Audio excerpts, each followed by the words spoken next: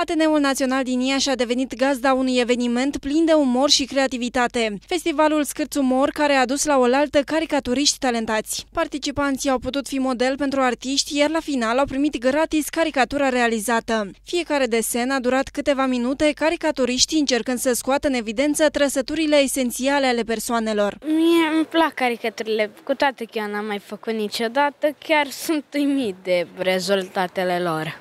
Bine realizată, și chiar caricatură, nu portret. Și asta, asta am dorit și asta am, am primit.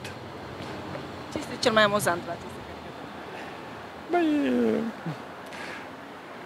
sunt și ridurile caracteristice vârstei, un zâmbet oarecum forțat, ochii mongoloizi.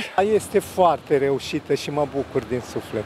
La eveniment au participat caricaturiști cu experiență din toată țara. Caricatura, caricatura o fac cam din uh, 1990 și, nu știu, 3, 4, uh, de când uh, eram în facultate și am văzut uh, uh, tehnica aceasta, genul ăsta de artă și uh, mi-a plăcut foarte mult. Făceam până atunci, făceam, eram cala pe portrete, pe peisaje, pe, eu știu, compoziții, pe așa și văzând așa gen de, de, de artă, care mi-a plăcut foarte mult, uh, am studiat la rândul iar foarte mult și am făcut și uh, trecerea asta de la o artă realistă la caricatură. Caricaturile care le realizăm uh, astăzi sunt crochiuri. Uh, e vorba de câteva secunde de lucru pentru a bucura publicul în cadrul festivalului de umor uh, Scârț.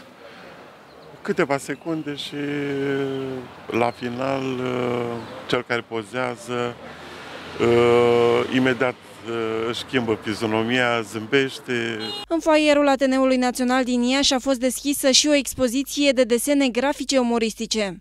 Cea de treia ediție Scârțumor a ajuns și anul acesta la Iași. Noi avem o frecvență din 2 în 2 ani Astfel, de la ultima ediție în 2011 până acum, uh, un, o altă serie de caricaturi au fost selectate de un juriu impresionant, spunem noi, de șase caricaturiști din de talie mondială, al cărui președinte este Ștefan Popa Popas și aceste caricaturi au fost selectate și vor primi niște premii.